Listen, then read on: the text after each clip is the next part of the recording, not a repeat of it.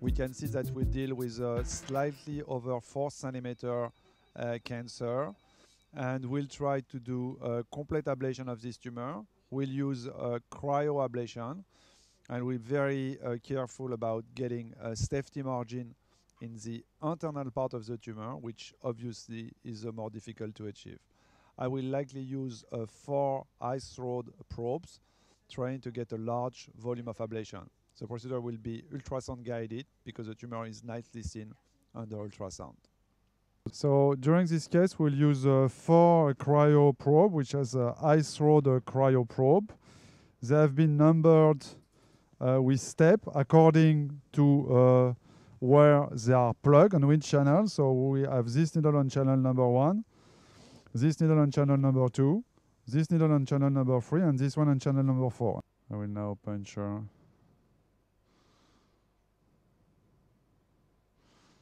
the dome of this tumor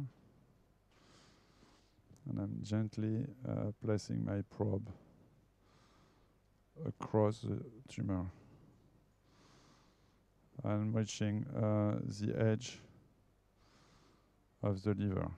We can already see some ice ball on the dome of the tumor and going down along the tumor we can see my uh, cryoprobe number two ready to enter the lower pole of the tumor. I will now try to place needle number three to the external and medial part of the tumor. Here is the frozen part, and here is the part uh, we want to reach. This is a probe reaching the medial and external part of the tumor. Scrolling from bottom to top, we can see that we have nicely targeted the lower part of the tumor with the two cryoprobe which are perfectly located.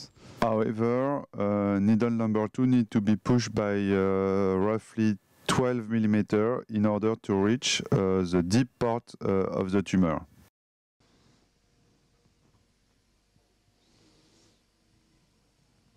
Uh, it's hard to distinguish uh, the ice ball because it's a multiplanar reconstruction, but however, we can see that the maximum distance in between our needle is uh, 15 millimeter, which is basically the distance in between number three and number five, five being the last needle I've been placed.